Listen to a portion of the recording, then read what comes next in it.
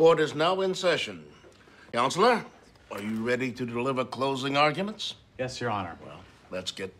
Wait, where is Holly? Sorry, Your Honor. My bus was late. Counselor, proceed. Oh, okay.